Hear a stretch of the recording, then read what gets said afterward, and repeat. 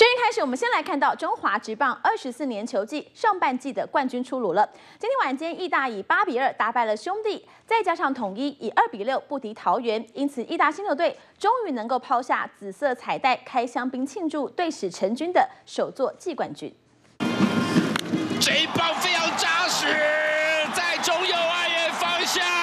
一大神拳林一拳开赛就轰出一发两分炮，用本季第十四轰宣誓要拿下这场比赛的决心。因为一大想要封王，不只想面对兄弟的比赛要赢，还要统一，同时也输球。只有两分，犀牛当然觉得不保险。二局下郑正航一上来就敲出长打，站上二垒，随后靠着对方投手爆传回来拿到第三分。已经连续三场比赛有打点的火哥张建明，当然不会放过这个二垒有人的大好机会。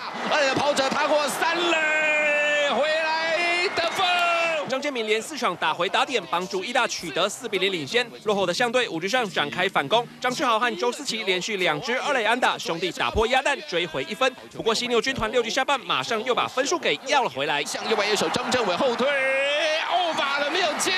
林坤生从一垒连敲三个垒包回到本垒得分，义大再度取得四分领先。虽然八局上兄弟敲出四支安打，不过很可惜留下满垒残垒，只追回一分。下个半局义大火力更猛，同样打出四支安打。不过包含两支二垒安打，一口气再下三分。最后半局杨建福让对手三上三下，一大以八比二赢球，现场也抛下了紫色的彩带。但是要确定能封王，还得看台南球场十元之战的结果。前四局打完，两队二比二战成平手。不过桃园五局上用两支安打攻下两分，取得领先后，统一再也无力追赶，主场狮队就以二比六输球。